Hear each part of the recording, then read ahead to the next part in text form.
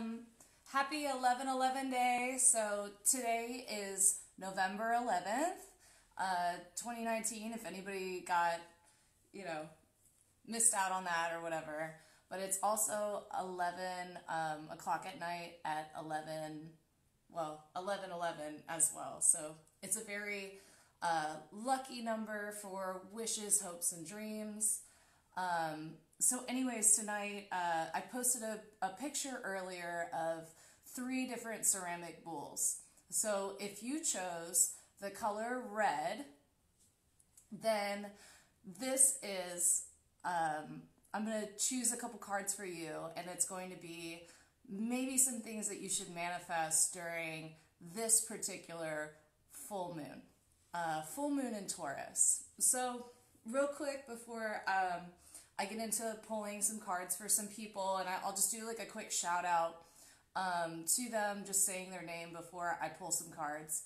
Um, the first thing is is that anytime that we have a full moon, it means that uh, the moon is in the opposite sign of wherever it is in the, the sun sign. So tonight we have a full moon. Well, tonight the sun is in Scorpio. So to have a full moon, it has to be in the exact opposite sign in Taurus.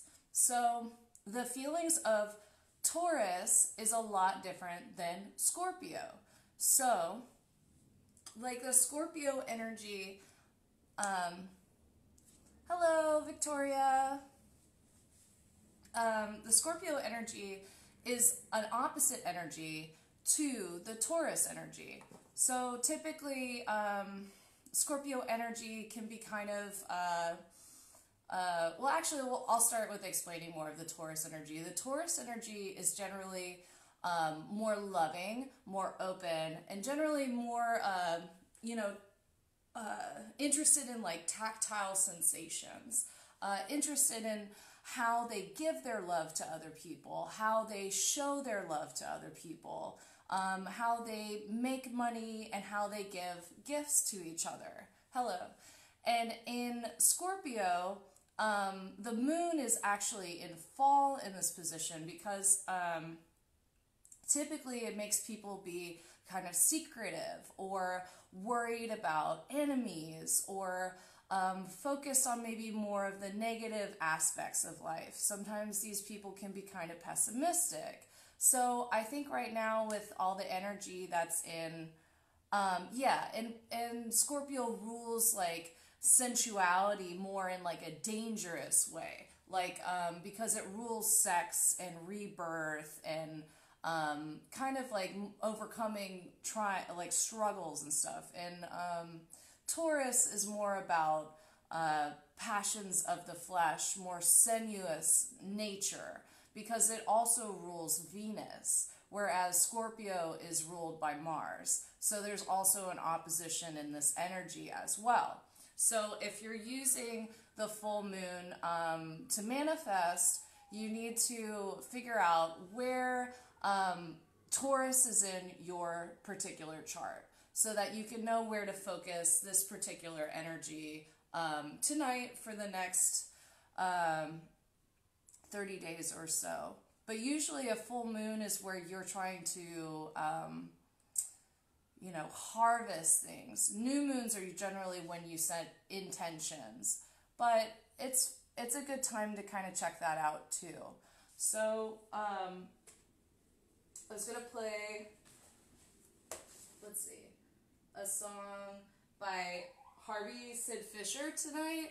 Um, it's about uh, Taurus so I'm just gonna play it real fast and hopefully you guys can hear it like in the background. I don't know. It's like real cheesy. But I have like I guess four people that um, I have like readings to give, so.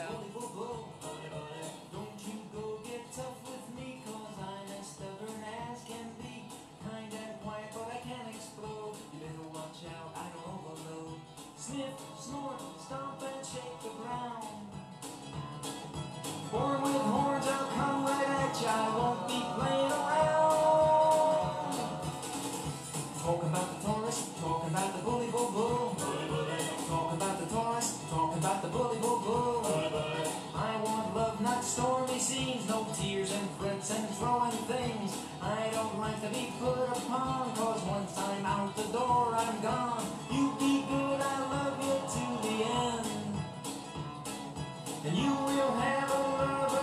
can count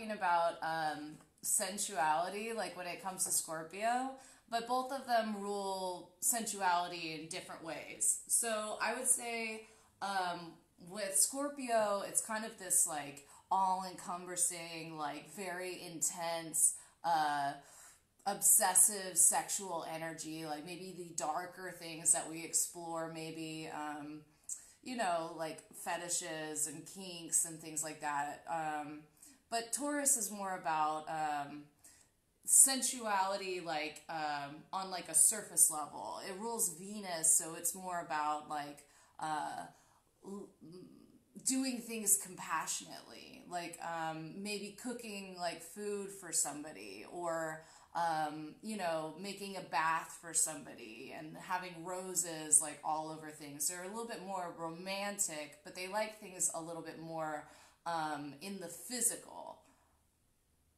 Yeah, so it's um, Taurus is ruled by Venus, and it's also an Earth sign. So you have the combination of the two. Like uh, it prefers more tactile senses when it comes to Venus, like like gifts, like foods. Um, Taurus people generally like uh, fabrics that are very soft and silky or sensuous. Um, you know, usually the color pink is like associated with Taurus as well. So, um, so I'm gonna get on with the first person. So, hold on, let me stop this before it decides to play another one. So, if you chose the color red, I'm gonna do a quick reading reading for you. So the first person is um, Brittany Curl. Uh, she guessed red, and she was the first person. So I'm just gonna pull um, a couple cards for her, and then I'm gonna move on to um, Kirsten. Also pick the color red as well. So I'll be doing one for her as well, and um, and I think I had one other person that also uh, picked the color red, but kind of trying to look at like people's pictures. I feel like I do a better job when I can like kind of look at their face um, while I'm trying to get like a reading from them. So I usually try to ask people to give me like a selfie or something. But um, yeah, try to stay warm out there. I know it's like a really, really chilly night in Dallas tonight. And I'm just gonna try to get like some of these cards to kind of get going. Just pull. I feel like that is it. Um. Okay. What else? What is going on for her? Okay, so I feel like maybe in the next 30 days or what she's currently going through, um, So we got four cards that fell out for you, Brittany. Um, the first card that fell out was the Fool card, and then it was followed by the King of Pentacles, and then the Queen of Wands, and the Lovers. So I feel like this is definitely a relationship reading. Um, uh, what I'm trying to get, so I'm feeling, I'm feeling with um, these two cards came out together.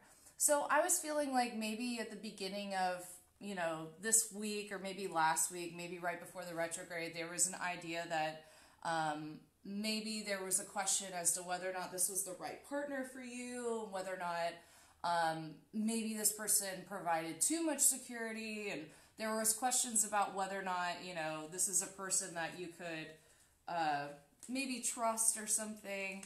Um, I feel like there was some sort of argument that happened, and I think that as time is going to go on, I think you're going to realize like how um, passionate like this connection actually is, and how much this person actually makes you feel like um, so sensuous and like so um, so beautiful. Like I think they really make you feel like um, this really passionate, sexy woman, and it it's it's really a change for once because I think they were so focused maybe on um, making money and and doing all these things, and it kind of shifts into being more of like a better partner for you. So I see that happening for you, and I'm really stoked about that. Um, yeah, so I got this sweater at the thrift store earlier this week, and it's actually Forever 21. So, you know, bye Forever 21. I'm sorry that you got shut down or whatever, but I like this $2 sweater that I got. It's pretty rad. Um, but yeah, let's see, who else is here? Hey. All right, and then the next person is Kirsten De La Cruz. You also picked the color red, so I'm gonna pull some cards for you. And I feel like there was another person that also picked red, so I'm gonna get to them like right after this. I'm just kind of looking at their their pictures real fast. Mm. Okay. You have such beautiful eyes. I just wanted to say that. Okay, so I'm gonna shuffle and kind of the same thing if these cards fall out. Um, okay, Azari, I think, or Garcia. Um, if you just go to the other one, well, I think it's already closed. Otherwise, I totally would do you.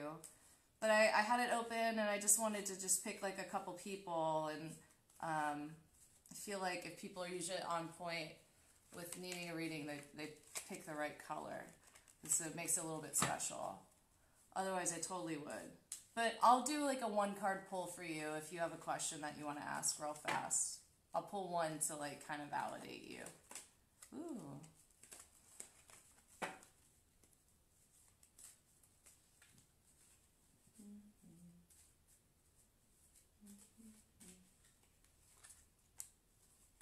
Right.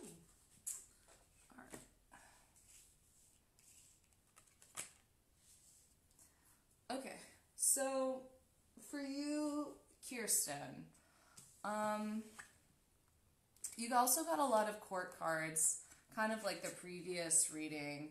Um, so the first one that we have is uh, the Knight of Wands in reverse, followed by um, the Queen of Pentacles in reverse, the um, the Emperor upright, and then also um, the Ten of Cups.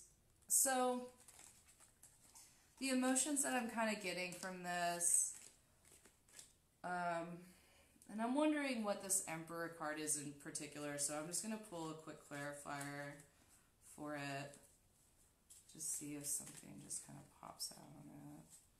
Or I feel like that's the card. Mm-hmm. And what is that about? Similar. Similar. So partner first. Okay, so this is interesting. Um, so I think lately you've been kind of trans like it's it's kind of a period where you have been changing from um, maybe feeling like you were having some struggles with um, you know maintaining uh, security like in your own life and kind of uh, worry that you weren't going to be able to kind of be the emperor. Like be a really strong key figure for other people like in your life or a good partner for other people because you felt like um, you weren't able to maybe financially be supportive of someone else or be able to like hold on to your finances in a certain way. Um, but i see that those types of things are changing for you.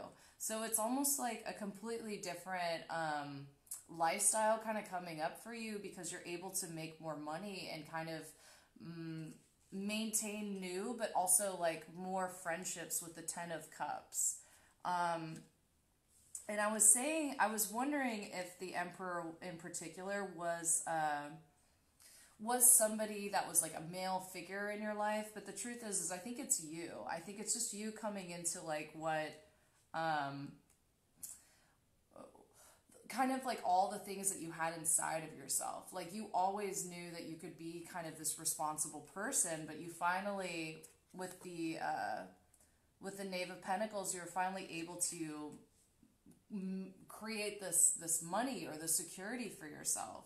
So it's been a really big change, and coming with it is the um, Nine of Pence as well.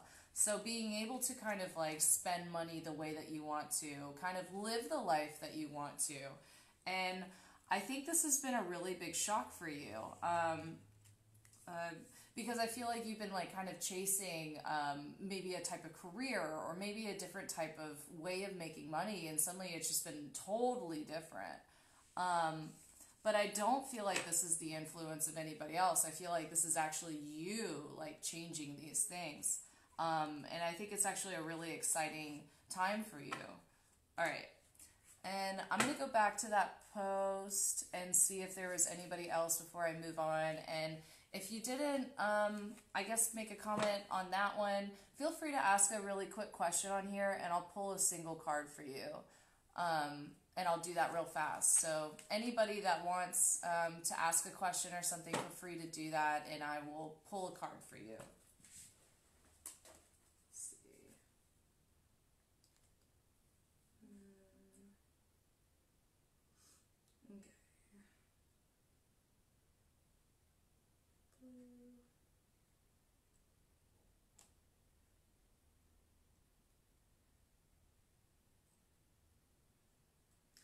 Okay.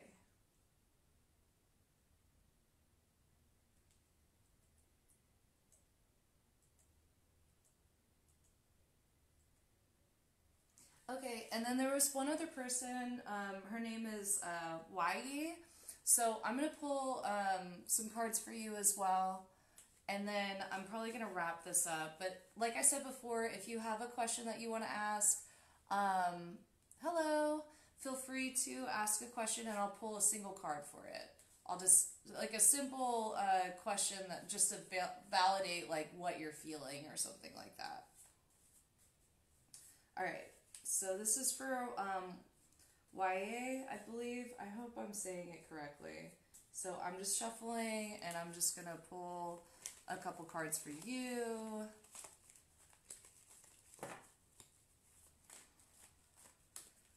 Mm-hmm.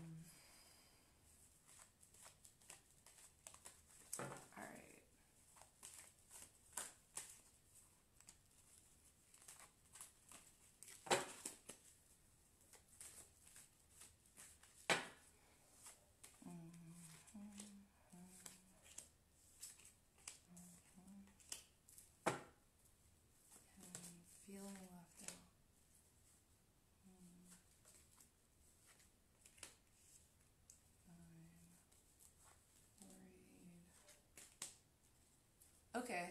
Um.